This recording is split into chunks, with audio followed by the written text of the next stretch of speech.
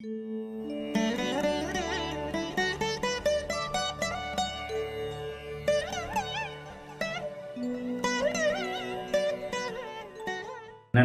வணக்கம். எல்லோரும் நன்றாக இருப்பீர்கள். தற்போது ஒரு வித்தியாசமான ஜாதகத்தை வித்தியாசம் இல்லை ஒரு அனைத்திலும் ஒரு பொருந்தி வருகின்ற ஒரு ஜாதகத்தை வந்து தங்களுக்கு விளக்க இருக்கிறேன். சில பேருக்கு ஒரு மனக்குறை இருக்கிறது.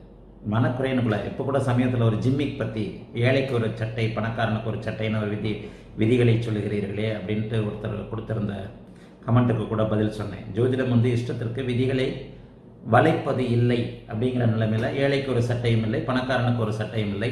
சட்டையின் நிறத்தையும் தரத்தையும் நாம் பார்க்கின்ற பொழுது அந்த சட்டையின் உண்மை தரம் நமக்கு விளங்கும் அப்படிங்கிறத விளக்கி கூட எஃப்இ ஃபேஸ்புக் லைவ் வீடியோவில் பேசினேன்.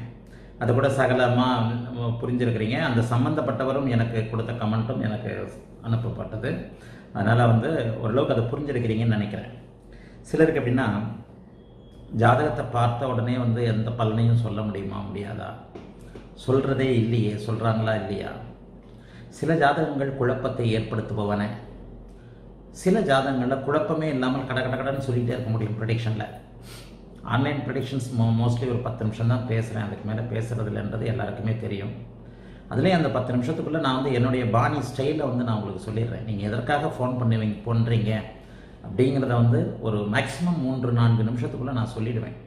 ஃபஸ்ட்டு எடுத்தோன்னே நீங்கள் எதுவும் பேசுகிறதில்ல ஜாதகத்தை எனக்கு அனுப்பிச்சிருக்கிறீங்க. நான் தான் உங்களுடைய டைம் கருதி என்னுடைய டைம் கருதி என்னென்ன நடக்குது என்ன நடந்துக்கிட்டு இருக்குன்றது ஒரு மூணு நிமிஷத்தில் சொல்லிவிடுவேன் அதற்கடுத்து ரெண்டு நிமிஷம் நீங்கள் ஒரு கேள்வி கேட்பீங்க பிறகு நம்முடைய கன்வர்சேஷன் ஒரு அஞ்சு நிமிஷம் தொடரும். அதற்குள்ளே உங்களுக்கு உங்கள் ஜாதகத்தில் நீங்கள் எதற்காக என்கிட்ட பேசுனீங்களோ இலங்கை தமிழ் சகோதரர்கள் பாணியில் சொல்லப்போனால் இப்போ வந்து நேற்று ஒரு சகோதரி கேட்டாங்க எங்கள் எங்கள் பாஷை நல்லா பேசுகிறீங்க அப்படின்ட்டு இலங்கை தமிழ் சகோதரி ஒருத்தங்க கனடாவில் வந்து கேட்டாங்க. அது மாதிரி பேசி பேசி என்னுடைய இலங்கை தமிழ் சகோதரர்கள் பாணியில் சொல்லப்போனால் கதைக்கலாம் அப்படின்ற மாதிரி உங்களுடைய மொழியும் எனக்கு கிட்டத்தட்ட எனக்கு ஓரளவுக்கு வந்துடுச்சு. முன்னெல்லாம் வந்து ஒரு அஞ்சாறு வருஷத்துக்கு முன்னாடி தான் இலங்கை தமிழ் சகோதரர் என்ன பேசுகிறாங்க அப்படின்றத கேட்கறதுக்கு அப்படியே காது கொடுத்து அப்படியே வச்சுக்கிட்டு இருப்பேன். புரியாது. இப்போ உங்கள் கூடயே சரளமாக பேசுகின்ற அளவுக்கு எனக்கும் கதைக்க வந்து விட்டது. வடிவாக கதைக்க வந்து விட்டது. சரி. அப்போ இங்கே ஒரு ஜாதகம். சில இதில் நான் அதிகமாக சொல்லுவேன். எங்கே எந்த விதியை பொருத்தி சொல்வது? விதியும் விதிவிலக்கும். நம்முடைய சுபத்துவ சூட்சுமவளம் நம்முடைய சுபத்துவ சூட்சுமவளம் தத்துவத்தின் அப்படி பாவக சுபத்துவம் கிரக சுபத்துவத்தின் அடிப்படையில் எப்படி சொல்கிறது இப்போது நான் காட்டப்போகின்ற ஜா ஜாதகம் நேற்று நான் பலன் சொன்ன ஜாதகம். இந்த ஜாதகருடைய தம்பி எனக்கு வந்து பலன் கேட்டார். இந்த ஜாதகருடைய தம்பி பலன் கேட்டார். நிச்சயம் இந்த வீடியோவை அந்த தம்பியும் பார்ப்பார். அப்போ நான் வந்து எப்படி நான் பலன் சொன்னேன் அப்படிங்கிறது நம்முடைய சுகத்துவ சூட்சும தத்துவத்தின் அடிப்படையில் எப்படிப்பட்ட அமைப்புகள் அது அது வருது அப்படின்றது அவருக்கே புரிந்திருக்கும். நான் வந்து ஒரு ஜாதகத்தை பார்த்த உடனே ஒரு மூன்று நான்கு நிமிஷம் கடகடன் உங்கள் அண்ணன் இப்படி இப்படிப்பட்ட நிலைமையில் இருக்கிறார் இந்த நிலைமையில் இருக்கிறார் இந்த நிலைமையில் இருக்கிறார் இப்படிப்பட்ட அமைப்புகளில் இருக்கிறார். அதற்கான விதிகள் ஏன்னா நான் விதிகளோடு ப்ரிடிக்ட் பண்ணுறவன் ஏன் இந்த வீடியோவை என்னால் போடணும்னு தோணுச்சுன்னா கடைசியாக ஒரு மூணு நிமிஷம் கழிச்சு அந்த இந்த ஜாதகரின் தம்பி கேட்டார். என்ன கேட்டார்னா ஐயா நீங்கள் மிதுன லக்னத்திற்கு ராகு இத்தனை யோகர் என்று சொல்லியிருக்கிறீர்களே. மிதுன லக்னத்திற்கு ராகு ஒருத்தர் தான் யோகர்னு சொல்லியிருக்கிறீங்களே அப்படி இருந்தும் ராகுதசை நீங்கள் சொன்ன மாதிரி எங்கள் அண்ணனுக்கு இத்தனை கஷ்டத்தை கொடுக்குது. அப்போ தான் அந்த வீடியோ இதை வீடியோவாக போடணும்னு எனக்கு தோணுச்சு. அதாவது எங்கே எப்போது எப்படி விதியையும் விதி வழக்குகளையும் பொருத்தி பலன் பார்ப்பதுன்னு அந்த தம்பிக்கும் சொன்னேன். இந்த கேள்வி நீங்கள் கேட்குறீங்கன்னா தம்பி உங்களுக்கு ஜோதிட ஆர்வம் இல்லாமல் என்கிட்ட நீங்கள் கேட்கல அப்போது நான் வந்து மிதன லக்கணத்திற்கு ராகு யோகர் என்று தான் சொன்னேன். அதே நான் இன்னொரு விதியையும் சொல்லி இருக்கிறேனே ராகு சனி செவ்வாயின் தொடர்புகளை ஆறு எட்டாம் அதிபதிகளின் தொடர்புகளை பெறக்கூடாது. அப்போ எங்கே எந்த விதியை பொருத்தி பார்ப்பது அப்படிங்கிறதுனால தானே உங்களுக்கு வந்து அது அதில் தான் உங்களுக்கு அந்த திணறல்கள் வரும் அப்படின்னு சொன்னேன். இத்தனை நிமிஷம் வந்து உங்களுடைய அண்ணன் இப்படி இருக்கிறார் இப்படி இருக்கிறார் நீங்கள் என்ன மறுத்தே சொல்லலையே. உங்கள் அண்ணன் அரசு வேலை பார்க்குறாருன்னு நீங்கள் அதை அப்ஜெக்ஷன் பண்ணல. ராகுதசையில் இவ்வளோ கஷ்டப்படுகிறார் அப்படின்னு சொன்னேன். இந்தந்தமான பிரச்சனைகள் இருக்கிறாருன்னு சொன்னேன். அதெல்லாம் நீங்கள் மறுத்தே சொல்லியே அப்போ இதற்கான விதிகள் எல்லாமே கரெக்டாக இருக்குது அது சரிதான் அப்படின்னு நீங்கள் உணரும் போது ஏன்னா பொதுவாக வந்து நீங்கள் பேசுகிறவங்க யாருமே என்கிட்ட நீங்கள் என்ன பிரச்சனைன்னு சொல்கிறதில்ல அப்படி அதை அறிமுகப்படுத்திக்கிறது இல்லை ஏன்னா எடுத்தவுடனே நான் பேச ஆரம்பிச்சிருவேன். நீங்கள் சொல்கிறதுக்கு இங்கே வாய்ப்பே கிடையாது. ஆன்லைன் அப்பாயின்மெண்ட்ஸ்லாம் இந்த ஆன்லைன் அப்பாயின்மெண்ட்ஸில் பேசுகிறவங்களுக்கும் தெரியும். சரி இப்போ இந்த விளக்கத்தை சொல்கிறதுக்கு அதுதான். அதாவது எந்த இடத்துல எங்கே பார்க்கறதுன்றத நம்ம நாலெட்ஜ் வர வர வர வரத்தான் தெரியும். மிதுநலக்கணத்திற்கு ராகு யோகர் தான். ஆனால் அவரும் சில நல்ல நிலைகளில் இருக்கணும். ராகு மட்டுமே யோகர்னு சொல்லுவேன். மிதுநலக்கணத்திற்கு ராகு மட்டுமே யோகர்.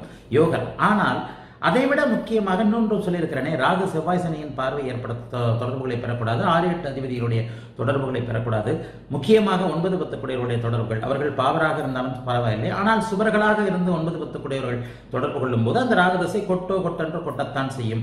ராகுவிற்கு வீடு கொடுத்தவன். இது போன்ற சில விஷயங்கள்லாம் இருக்கு இல்லையா?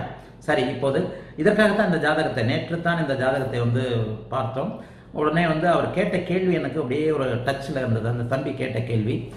நான் ப்ரிடிக்ஷன் சொன்ன முறையும் நான் எப்படி சொன்னேன் அதாவது இந்த ஜாதகம் வரப்போகின்ற ஜாதகம் எடுத்தடுப்புலேயே சொன்னேன் அவங்க அண்ணா அரசு வேலையில் இருக்கிறார். அண்ணா அரசு வேலையில் இருக்கிறார். இப்போ ராகுதசை ஆரம்பித்தோடனே சிக்கல்கள் இருக்கிறார். குறிப்பாக ராகுதசை சனிபுத்திலிருந்து உங்கள் அண்ணனுக்கு கடந்த ரெண்டு வருஷமாக சிகப்பு நிற கட்டடங்களுக்குள்ள நுழைஞ்சிருப்பார். சிகப்பு நிற கட்டடங்களுக்குள்ள நுழைஞ்சிருப்பார். சரி இப்போது ஜாதகத்தை பார்த்து விடுவோம். மிதுன லக்னம் லக்னத்தில் புதன் சுக்கிரன் மூன்றில் சந்திரன் கேது. ஏழில் சனி திக்பலம் லக்னத்தில் புதன் திக்பலம். லக்னத்தில் புதன் திக்பலம் ஏழில் சனி திக்பலம் ஒன்பதில் செவ்வாய் ராகு. பதினொன்றில் குரு பனிரெண்டில் சூரியன் பனிரெண்டில் சூரியன். அம்சத்துக்கு அப்படியே வந்துடுவோம் அம்சத்தை அம்சத்தில் நான் என்ன கிடையாதுன்றதை அடிக்கடி சொல்லியிருக்கிறேன். அம்சத்தில் தனுசு லக்னம் லக்னத்தில் செவ்வாய் ஐந்தில் சூரியன் உச்சம் ஆறில் ராகு ஏழில் சனி பதினொன்றில் புதன் நட்பு. பனிரெண்டில் சந்திரன் சுக்கரன் குரு கேது.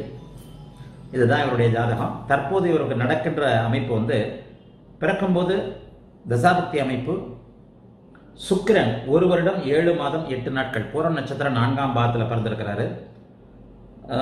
தற்போதைய தசா அமைப்புகள் வந்து ராகு தசையில் சனி புக்தி பார்த்த மாதிரி ஞாபகம் இருங்க பார்த்துறேன் ராகு தசையில் சனி புக்தி ஏழு ரெண்டு ரெண்டாயிரத்தி பதினெட்டு முதல் பதினான்கு பன்னிரெண்டு ரெண்டாயிரத்தி இருபது இந்த வருடம் டிசம்பர் மாதம் வரைக்கும் இவருக்கு ராகுதசையில் சனி பக்தி நடந்து கொண்டிருக்கிறது.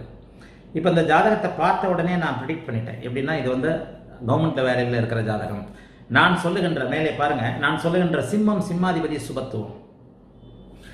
சிம்மாதிபதி சூரியனுடைய வீட்டில் இருக்கிறது சுக்கரனுடைய வீட்டில் சுபத்துவமாக அமர்ந்து அம்சத்தில் வந்து நல்ல வலுவாக இருக்கிறார். இந்த இடத்துல நான் வந்து ஒரு மாறுபடுறேன் இனிமேல் அதை விளக்கமாக சொல்கிறேன். அம்சத்தில் ஆட்சி உச்சம் இருக்குதா இல்லையான்றதை ஒரு தனி இதாக நான் போடணும். அதனால் அது அது இப்போதைக்கு வேண்டாம். சிம்மம் ராசிக்கு பத்தாம் இடத்தில் சூரியன் வலுத்திருக்கிறார். இங்கே லக்னத்திற்கு பனிரெண்டில் அவர் மறைகிறார் என்பது எடுபடாது. ராசியில் வளர்வரை சந்திரன் அமர்ந்து ராகு ராசியில் அமராமல் கேது அமர்ந்திருக்கிறார். சிம்மா சிம்மத்தை குறிப்பார்க்கிறார் பார்த்த உடனே பளிச்சுன்னு தெரியுது. அதற்கு லக்னம் கை கை கொடுக்கிறது. லக்னாதிபதி வலுவாக லக்னத்திலேயே சுபத்துவ அமைப்புள்ள புதனும் சுக்கிரனும். நான் சொல்லுகின்ற இன்னொரு மிக மிக முக்கியமான ஒரு விதி இங்கே இருக்கிறது. நண்பர்கள் தங்களுக்குள் கேந்திரங்களாக எதிரிகள் தங்களுக்குள் கேந்திர கோணங்களாக இருக்கிறார்கள். அது ஒரு மிகப்பெரிய அமைப்பு. இந்த அமைப்பு தான் இந்த ஜாதகத்தை தூக்கி நிறுத்துகின்ற அமைப்பு. நான் அடிக்கடி சொல்றேன் இல்லையா? நண்பர்கள் சுக்கரன் புதன் சனி. பாருங்க ஜாதகத்தை. நண்பர்கள் புதன் சுக்கரன் சனி மூவரும் தங்களுக்குள் கேந்திரங்களாக இருக்க இந்த ஜாதகத்தின் எதிரிகளான சூரியன் சந்திரன் சூரியன் சந்திரன் செவ்வாய் குரு இவர்கள் நால்வரும் தங்களுக்குள் கேந்திர கோணங்களில் இருக்கிறார்கள். ஆக இந்த அமைப்பு இந்த ஜாதகத்தை தூக்கி நிறுத்தும் அமைப்பு.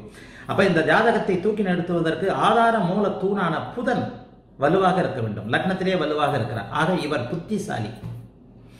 சகல் அடுத்து வரப்போகின்ற குருதசை சனிதசை எல்லாம் யோகதசை. அப்ப இவர் புத்திசாலின்ற போது இவருக்கு எது அதிகமான எந்த பாவகம் அதிகமான சுபத்துவம்? அப்ப இவர் எந்த அமைப்பில் இருப்பார்? இன்ஜினியரா இருக்கிறார். சனிதான வளர்த்திருக்கிறார். சனி சம்பந்தப்பட்ட துறைகளில் இருக்கிறார். சனி சுபத்துவமாக இருக்கிறார். சனி சம்பந்தப்பட்ட மெக்கானிக்கல் துறைகளில் இருக்கிறார். ஆக இந்த அமைப்பிற்கு லக்னாதிபதி வலுவாக இருக்க வேண்டும். லக்னாதிபதி லக்னத்தில் வலுவாக இருந்துட்டாலே அதற்கடுத்து அந்த பாவக சுபத்துவம் கிடைச்சிடும் இல்லையா? பாவக சுபத்துவமும் கிரக சுபத்துவமும் கிடைத்திடும் அதற்காகத்தான் இந்த ஜாதகர் எடுத்த உடனே உங்களுடைய அண்ணன் அரசு வேலையில் இருக்கிறாரான்னு கேட்டேன். ஆமாம் அரசு வேலையில் இருக்கிறார். அரசு வேலையில் தான் இருக்கிறார்னு சொன்னேன். இருக்கிறாரான்னு கேட்கறது என்னுடைய வழக்கம் இல்லை. கடகடன் ப்ரெடிக்ஷன் பண்ணிக்கிட்டு இருக்கும்போதே சுக்கரன் ஒரு வயசு வரைக்கும் சுக்கரன் கிட்டத்தட்ட ஒரு பத்து பதினாறு வயசு வரைக்கும் நல்லா படித்த ஜாதகம். உங்க அண்ணன் நல்ல புத்திசாலியாக இருப்பார் நல்லா படித்திருப்பார். இன்ஜினியரிங் சம்மந்தப்பட்ட படிப்பு படித்திருப்பார். நல்ல அதிகமான புத்திசாலியாக இருப்பார். கடந்த காலங்களில் இப்போது தான் அதாவது என்ன சொன்னேன்னா ப பதினேழு பதினெட்டு வயசு வரைக்கும் எந்த விதமான சிக்கல் இல்லாமல் பதினெட்டு வயசுக்கு பிறகு செவ்வாதசில் கடினமான கஷ்டப்பட்ட ஜாதகம். ஆமாம் அந்த நேரத்தில் தகப்பனார் சம்மந்தமாக ஏன்னா ஒன்பதாம் இடத்துல இருக்கிறார் இல்லையா? அப்பா ச அப்பா வழியில் வந்து பயங்கர கஷ்டங்கள். பதினெட்டு வயசுலேருந்து நீயும் அண்ணனுமே ரொம்ப கஷ்டப்பட்டிருப்பீங்க. இப்போ இந்த வீடியோ அவர் கண்டிப்பாக கேட்பார் பதினெட்டு வயசுலேருந்தே நீயும் அண்ணனும் செவ்வாதசை மிதன வரக்கூடாத பாவத்துவ செவ்வாதசன்றதுனால பதினெட்டு வயது இளம் வயதுலேருந்தே ரொம்ப கஷ்டம். அப்படியும் கஷ்டப்பட்டு படித்து அண்ணன் தன்னுடைய புத்திசாலித்தனத்தால் எவருடைய உதவியுமின்றி இதை எழுதி அரசு வேலையில் இப்போ இருப்பார். இப்போ இந்த ரெண்டு வருஷத்தில் அண்ணன் வந்து சிக்கலில் இருக்கிறாரு. சிகப்பு நிற பில்டிங்குள்ளே நுழைஞ்சிக்கிட்டு இருக்கிறாரு. ராகுதசை அவருக்கு கடுமையான மன உளைச்சல்களை ராகுதசை சனிபக்தி கடுமையான மன உளைச்சல்களை கொடுத்து கொண்டு இருக்கிறது கோர்ட்டு கேஸு வம்ப வழக்குன்னு சுற்றிக்கிட்டு தெரிவார். ரெண்டு வருஷமாக தூக்கம் இருக்காது. போன ஆகஸ்ட் ரெண்டாயிரத்தி பதினெட்டிலிருந்து ஆகஸ்ட் மாதம் ரெண்டாயிரத்தி பதினெட்டிலிருந்து அண்ணனுக்கு வந்து சிகப்பு நிற பில்டிங்குள்ளே நுழையிற ஒரு அமைப்பு. கடுமையான மன அழுத்தங்களில் இருப்பார். வேலை போயிடுமோன்னு இருப்பார். அதற்கப்புறம் ப்ரிடிக்ஷன்ஸ் என்னென்ன நடக்கும்? இப்படி இப்படின்னு அது அதோட அவர் நிறுத்தினதுக்கப்புறம் ஐயா இது வரைக்கும் நீங்கள் சொன்னது எல்லாமே கரெக்டு அவருடைய அமைப்புகளை சொன்னார். ஆ, அண்ணன் வந்து இந்த மாதிரியான ஒரு சூழ்நிலைகளில் இருக்கிறாரு. நீங்கள் சொன்னது நூறுக்கு நூறுக்கு நேரிட்டு நீங்கள் ஆகஸ்ட்னு சொன்னீங்க செப்டம்பரில் இருந்து. ரெண்டாயிரத்தி பதினெட்டு செப்டம்பர்லேருந்து அண்ணனுக்கு வந்து இது பாண்டு இது மாதிரியான நிகழ்வுகள் நடந்து கொண்டிருக்கின்றன. அவர் இதனால் வழக்கு நடந்து கொண்டிருக்கிறது. இந்த வழக்கில் வந்து இவர் எப்படி இருப்பார்? ப்ரெடிக்ஷன்ஸ் அடுத்து இது வரைக்கும் சொன்னது இது. இனிமேல் நடக்க போகுது அடுத்து புதன் தசை அடுத்து ராகு தசையில் புதன் புக்தி வரப்போகிறது. ராகுதசையில் புதன் புக்தி வரப்போகிறது கேது புக்தி வரப்போகிறது சுக்கிர புக்தி. இந்த ரெண்டு மூன்று புக்திகளும் உங்கள் அண்ணனுக்கு எப்படி இருக்கோ இது வரைக்கும் நான் சொன்ன பாஸ்ட் கரெக்டாக இருக்கும்போது இப்போ நான் சொல்கிற ஃபியூச்சர் வந்து உனக்கு கரெக்டாக இருக்கும் பாருன்னு சொன்ன ப்ரடிக்ஷன் சரி இப்போ இந்த ப்ரடிக்ஷன் எப்படி சொன்னோம்? அதாவது இதை கூட நான் சொல்லிடலாம். நிறைய பேர் என்ன நினைக்கிறீங்க? ஜோதிடம் ஜிம்மிக்குன்னு நினைக்கிறீங்க இல்லையா? தெளிவான விதிகள். என்னுடைய சுபத்துவ சூட்சும அமைப்பு வந்து தெளிவாக இருக்கிறது. இவர் ஏன் அரசு வேலையில் இருக்கிறார்னு நான் சொன்னேன். சூரியனும் சந்திரனும் தங்களுக்குள் கேந்திரங்களில் அமர்ந்து சிம்மம் சுபத்துவமாகி அரசு வேலையில் இருக்கிறார். நான் சொல்லுகின்ற சுபத்துவ சூட்சும உள்ள தத்துவம் தங்களுக்குள் கேந்திரம். இந்த அமைப்பு இன்னொன்று ரெண்டு ரெண்டு கிரகமே லக்னாதிபதி. ஒரு ஒரு கிரகம் வந்து லக்னம் லக்னாதிபதி திக்பலமாக இருந்தாலே மிகப்பெரிய அமைப்பு. நான் சொல்லுகின்ற அடுத்த விதி நண்பர்கள் தங்களுக்குள் கேந்திரம் எதிரிகள் தங்களுக்குள் கேந்திரம். இந்த அமைப்பு அப்படியே பொருந்தி வருகிறது. பார்த்தோன்னே பளிச்சுன்னு தெரிஞ்சிருது இல்லையா? அடுத்து அவர் கேட்ட கேள்விதான் மிக முக்கியமான கேள்வி. ஐயா நீங்கள் சொன்னது எல்லாமே கரெக்ட் ஆனா எங்க அண்ணனுக்கு ராகுதசை மிதனத்திற்கு மிகுந்த யோகத்தை செய்யக்கூடிய ராகுதசை ஏன் இத்தனை கெடுதல்களை செய்தது? அந்த பாயிண்ட்டுக்காக தான் இப்போ இந்த வீடியோ போட்டிருக்கிறேன். ஆக இங்கே ராகுதசை ஏன் கெடுதல்களை செய்கிறார்? எங்கே எதை பொருத்தி பார்ப்பது அப்படிங்கிறதுல தான் தடுமாற்றம் அடைவீர்கள் சொன்னேன். நான் மட்டும் எப்படி உங்க அண்ணன் இப்போ சேவந்தர பில்டிங்குள்ளே பில்டிங்குள்ள நுழைஞ்சிட்டு இருக்கிறாரு? வம்பு வழக்கு கோர்ட்டு கேஸ் போலீஸ் ஸ்டேஷன் போய்கிட்டு இருக்கிறான்னு எப்படி சொன்னேன்? இங்கே எதை எப்படி பொருத்தி பார்ப்பது அப்படிங்கிற அமைப்பின் அடிப்படையில் ராகு நான் யாருடன் சேரக்கூடாதோ? ராகு சனியின் வீட்டில் அமர்ந்து செவ்வாயின் பார்வையை பெற்று சனியின் வீட்டில் அமர்ந்து செவ்வாயின் நினைவை பெற்றிருக்கிறார். சனியும் பார்க்கிறார். ராகு செவ்வாயோடு இணைந்து சனியின் பார்வையை பெற்றிருக்கிறார். அவருக்கு ஆகாத வீடு கும்பம் அது. சனியின் ஸ்திர வீடும் செவ்வாயின் ஸ்திர வீட்டிலும் ராகு இருக்கக்கூடாது. சனியின் சர வீட்டிலும் சன் செவ்வாயின் சர வீட்டிலும் ராகு இருக்கலாம். ஏன்றதை ஜோதிடமனம் ஜெயவரசன் கட்டுரையில் எழுதியிருக்கிறேன். படிச்சு பாருங்க. ராகுவுக்கு அந்த மேஷம் ரிஷபம் கடகம் கன்னி மகரம் ஐந்து வீடுகள் ஏன் வந்து யோகமாக சொல்லப்பட்டன அப்படிங்கிறது அந்த அந்த இதில் எழுதியிருக்கிறேன். அதை பாருங்க. சனியின் ஸ்திர வீடும் செவ்வாயின் ஸ்திர வீடும் ராகுவிற்கு ஆகாத வீடுகள். அங்கே அவர் அடுத்தவரான சனி செவ்வாயின் தொடர்பை பெறக்கூடாது. இந்த ப்ரெடிக்ஷன்றது ஓரளவுக்கு புரிஞ்சுக்கிட்டீங்கன்னா டக்கு டக்கு டக்கு டக்கு டக்குன்னு சொல்லிட்டு போயிட்டே இருக்கலாம். ஆக இங்கே மிதன லக்கணத்திற்கு ஒரே யோகர் எந்த நிலையிலும் கெடுதல்களை செய்ய மாட்டார். அதுவும் உண்மை. பேசிக்கே கெடுக்க மாட்டார். ரோட்டுக்கு கொண்டு வந்துருவாரோ கொண்டு வந்துருவாரோ கொண்டு வந்துருவாரோன்னு பயப்பட வைப்பார். பேசிக்கே கெடுக்க மாட்டார். லக்னாதிபதி வலுவாக இருக்கின்ற நிலைமையில் இங்கே லக்னாதிபதி வலுவாக இருக்கிறார். ஆகவே இந்த அரசு ஊழியருக்கு பாசிட்டிவான ஆன்சர் தான். புதன்ல கேதுல சுக்கிரன்ல அடுத்து வரப்போறது லக்னாதிபதியில் அந்த வழக்கிலிருந்து அவர் விடி விடுபடுவாரே தவிர நிச்சயமாக ராகு வேலையை இது பண்ண மாட்டார். ஒரு பயம் காட்டுவார். தவறுக்காகனா ஒரு பயம் காட்டுறதுதான். லக்னாதிபதி வலுவாக இருக்கிறார்ல ஆக இந்த அமைப்பில். இங்கே ராகு எட்டாம் அதிபதியின் ஒன்பதாம் வீட்டில் அமர்ந்து ஆறாம் அதிபதியின் இணைவில் இருக்கிறார். எட்டு ஒன்பதுக்குடைய பாபரான சனியின் பார்வையை பெற்றிருக்கிறார். சனி பார்த்து செவ்வாயோடு இணைந்த ராகு கண்டிப்பாக நல்ல பலன்களை செய்யவே மாட்டார். அவர் ஸ்திர வீட்டில் இருக்கிறார். மகரத்துலேருந்தா வேற. கும்பத்தில் இருக்கிறார். ஆக இந்த அமைப்பில் தான் ஒரு ஒரு ஜாதகத்தை எப்படி பார்ப்பது? சுபத்துவ சூட்சும உள்ள தத்துவம் வந்து கிட்டத்தட்ட வந்து நிறைய பேர் இப்போ புரிஞ்சுக்கிறீங்க. நான் சொல்லுகின்ற சில விதிகள் உங்களுடைய ஜாதக அமைப்பில் உங்களுக்கு தெரிஞ்சவர்களுடைய ஜாதக அமைப்பில் நூறு சதவீதம் சரியாக இருக்கிறத நீங்கள் தெரிஞ்சுக்கிட்டதுனால தான் கொஞ்சம் நிறைய பேர் புரிஞ்சுக்கிறீங்கன்றது எனக்கு இதாக இருக்குது நேற்று இவர் இந்த கேட்ட கேள்வி என்ன? கொஞ்சம் சிந்தனையை தூண்டி விட்டது. ஏன் வந்து இந்த தம்பி வந்து கொஞ்சம் பு- புரிஞ்சிருக்கிறார்? அதாவது எந்த எந்த இது வந்து எந்த அமைப்பு? ராகு வந்து ஆறு எட்டாம் அதிபதியோட சம்பந்தத்தை பெறக்கூடாது. ஒன்பது பத்தாம் அதிபதி ராகு எவருடைய சம்பந்தத்தை பெறுகிறாரோ பச்சோந்தி கிரகம் நிறத்திற்கேற்றாற் போல மாற்றிக்கொள்ளுகின்ற கிரகம் அவர் இருக்கின்ற வீடு அவருடைய பாவகம் சுபத்துவமாக இருக்கிறதா அவருக்கு சுப பார்வைகள் கிடைக்கின்றதா? சுக்கிரன் குரு சுபத்துவமான பார்வைகள் கிடைக்கின்றதா? அப்படிங்கிறத பொறுத்து தான் இங்கே ராகு கிடைச்சிருக்கிற ஒரே ஒரு பார்வை இணைவு சந்திரனோடது மட்டும்தான். இரண்டாம் அதிபதியோட சந்திரனுடைய வளர்ப்பறை சந்திரன். நான் அடிக்கடி சொல்றேனே அஷ்டமி திதி நவமி திதியில் இருக்கிற சந்திரன். அப்ப இந்த ஜாதகத்துல தெரிகின்ற இந்த விளக்கத்தை வந்து உங்களால புரிஞ்சிக்க முடியும்னு நினைக்கிறேன். ஜாதகம் மிக உயர்வான நிலையில் இருக்கின்ற ஒரு ஜாதகம். நண்பர்கள் தங்களுக்குள் கேந்திரம் எதிரிகள் தங்களுக்குள் கேந்திரம். லக்னாதிபதி லக்னத்திலேயே ஆட்சியாக திக்பலமாக இருந்து லக்ன நண்பர்கள் அனைவருமே வலுவாக இருக்கிறாங்க நட்பு வீடுகள் இருக்கிறாங்க. லக்னாதிபதி சுக்கரனுடைய பார்வையில் சனிதசை வரப்போகுது. அடுத்து குருதசை வரப்போகுது. நல்லா தான் இருக்க போறாரு. இன்னைக்கு நல்லா இல்லையே. ராகதிசையில் எல்லாமே மறந்து அப்பா சாமி நான் தான் கஷ்டப்பட்டேனா? ஐயோ கடவுளே ஒரு பாடம் கற்றுக்கொண்டேன் அப்படிங்கிற லெவலில் போகின்ற அமைதி ஆனால் இன்றைக்கு ரெண்டு வருஷமாக தூக்கம் வரலையே. ராகுதசையில் சனி புக்தி போய்கிட்டு இருக்கு ராகுதசையில் சனி புக்தி போய்கிட்டு இருந்தால் என்ன நடக்கும்? அவர் சனி புக்தி ஆரம்பிச்ச அவருடைய மன உளைச்சல மன அமைப்பை கெடுக்கின்ற வேலையை செய்து விடுவார். எப்பொழுதுமே சனி இத்தனைக்கும் யோகர். அதில் ஒரு விதி வந்துடும் உங்களுக்கு. தசாநாதனுக்கு அடங்கி தான் புக்திநாதன் பலன் தருவார். சனி இத்தனைக்கும் மகா யோகம் சனி தசை கடுமையான யோகம் செய்யும். ஏன்? சனி மூன்று சுவர்களின் பார்வையில் இருக்கிறார். நல்லா பாருங்க ஜாதகத்தை. குருவின் பார்வையில் இருக்கிறார் புதனின் பார்வையில் இருக்கிறார் சுக்கரனின் பார்வையில் இருக்கிறார். புதன் எப்படியா பா சுக பாவ பாவர் சுபர்னு சொல்கிறேன் அப்படின்னு கேட்டால் சுபரோடு இணைந்த சு- ப- புதன் சுபர் மூன்று சுவர்களின் பார்வையில் இருக்கின்ற இதே சனி புக்திக்குள் தசாநாதனுக்கு அடங்கி நடக்கக்கூடியவர். லக்னாதிபதியாகவே இருந்தாலும் தசாநாதன் தான் நான் ஃபர்ஸ்ட் ஆக இந்த அமைப்புகளில் எப்படி ஹவு டு ப்ரிடிக்ட் அப்படிங்கிறதுக்கான ஒரு உதாரண ஜாதகம் அது. இந்த தம்பி வந்து நிச்சயமாக இந்த வீடியோவை பார்த்துக்கிட்டு இருப்பார். நேற்று என்கிட்ட பேசின இந்த தம்பி நிச்சயமாக இந்த வீடியோ பார்ப்பார். நான் என்ன ப்ரெடிக்ட் பண்ணேன்றதுக்கான அவர் சில சந்தேகங்களை கேட்டார்.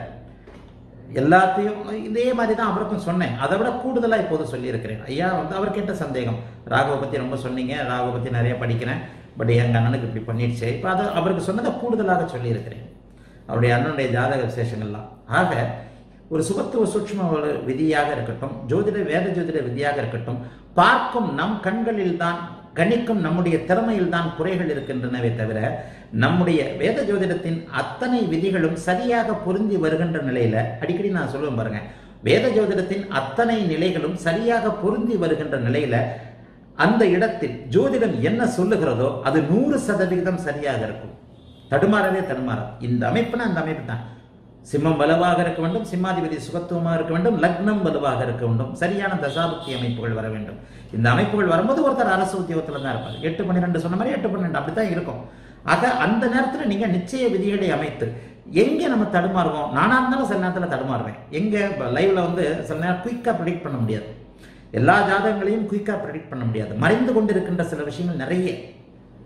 ஒரு நிமிஷத்தில் ப்ரெடிக்ட் பண்ணுறேன் பத்து செகண்டில் ப்ரெடிக்ட் பண்றேன் இருபது செகண்டில் ப்ரெடிக்ட் பண்ணுறேன் அப்படின்னு சொன்னாலும் எல்லா ஜாதகத்தையும் பண்ண முடியாது. சில நேரத்தில் திணறும் பாருங்க அதிக சுபத்துவமான கிரகம் குழந்தைகளுக்கு டக்குன்னு கேட்பாங்க. அப்போ எந்த கிரகம் அதிக சுபத்துவம்ன்றத லக்னம் இதுலயும் வர்க்கத்திலையும் நவவர்க்கமான நவாம்சத்திலையும் தீர்மானிக்க முடியாது. திருப்ப உள்ளே போக வேண்டியிருக்கும். அங்கே அந்த இடத்துல சில நேரங்களில் ஷட்பலம்லாம் நான் எடுப்பேன். கிரக பலங்களை நான் எடுப்பேன். ஸ்தான பலத்திற்கு அடுத்து உள்ளே போகும்போது அதை வந்து லைவில் டக்குன்னு சொல்லிட முடியாது. நேர்லேயோ வேற இதுலயோ தான் கொஞ்ச நேரம் பொறுங்கன்னு சொல்லி தான் ப்ரெடிக்ட் பண்ண முடியும். அந்த மாதிரியான ஜாதகங்கள் எல்லா ஜாதகங்களும் திணற வைக்கக்கூடியவை அல்ல.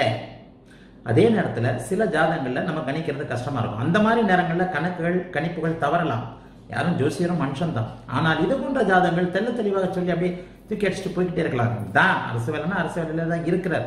ஆல்ரெடி ஏன்னா இப்போ இருபத்தஞ்சு வயசுல இந்த பையன் கேட்டிருந்தாருன்னா உனக்கு அரசு வேலை கிடைக்கும் பண்ணுவேன் அவருக்கு தான் முப்பத்தி மூணு வயசு ஆயிடுச்சு. அப்போ எந்த வ- எந்த நேரத்தில் எப்படி அரசு வேலை அந்த அந்த அமைப்புகள் விதிகளோடு நீங்கள் என்றைக்கு ப்ரிடிக்ட் பண்ணுறீங்களோ நான் சொன்ன விதிகள். இது இதுக்கு அடுத்து கூட ஒரு இன்னொரு வீடியோ போடுறோம். ஒரு இதே மாதிரி நான் சொன்ன சுபத்துவ சுற்றுமூல தத்துவ விதிகளை போடுவோம். அதில் வந்து உங்களுக்கு சொல்கிறது அத்தனையும் இருக்கும். ஆகவே இந்த ஜாதகத்தில் நான் எதற்காக இந்த ஜாதகத்தை உங்களுக்கு விளக்குவதற்காக எடுத்துக்கொண்டேன் அப்படின்னு சொன்னால் ராகு யோகராக இருந்தாலும் அந்த நிலையில எங்கே எதை பொருத்தி பார்ப்பது?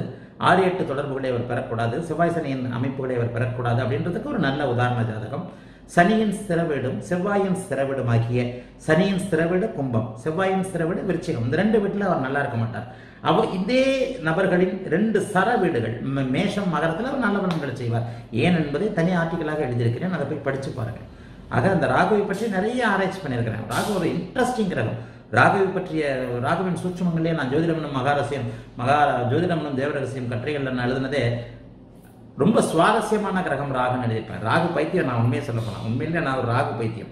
என்னுடைய ராகு திசை என்னவாக இருக்கும் எனக்கு அப்படின்ற ஒரு ஆர்வத்திலேயே தூண்டி தூண்ட வரப்பட்டு தான் நான் அடுத்தவர்களுடைய ராகு திசையெல்லாம் ஆராய தலைப்பட்டேன். எனக்கு ஏதோ ஒன்று போய் தட்டுது. நாற்பத்தி மூன்று ஒரு ஒரு குறிப்பிட்ட வயதிற்கு பிறகு வருகின்ற ராகு தசை எனக்கு சில விஷயங்களை செய்யும் என்று சொல்ல சொல்லுகிறது. அப்போ அந்த ராகு பற்றி என்ன அப்படின்னு சொல்லிட்டு நான் முத முதல்ல எழுதுகிற கையால் எழுதின கட்டுரையே ராகு தான் முதன் முதலில் என்னுடைய கட்டுரை பப்ளிஷான கட்டுரையும் காதலை தோண்டும் காரகோ பாவனாஸ்தியும் காதலை தூண்டும் ராகு கதுக்களும் தான் ரெண்டாயிரத்தி பதினொன்று ஏப்ரலில் என்னுடைய என்னுடைய எழுத்துலக பயணத்தின் முதல் கட்டுரை. ஆகவே ராகுவை பற்றி ஏகப்பட்ட ஆராய்ச்சி பண்ணியிருக்கிறேன். அந்த அமைப்பில் ராகுவை சில நிலைகளில் நீங்கள் துல்லியமாக சொல்லிவிட முடியும். அதை பட்ட ஜாதகம் இது. ஆகவே இது இந்த ஒரு ஒரு காரணத்திற்காகத்தான் உங்களுக்கு விளக்குவதற்கு எடுத்தேன் அடுத்து இதே மாதிரி இன்னொரு உதாரண ஜாதகத்தோடு பார்க்கலாம். வாழ்த்துக்கள். எல்லோரும் நன்றாக இருப்பீர்கள்.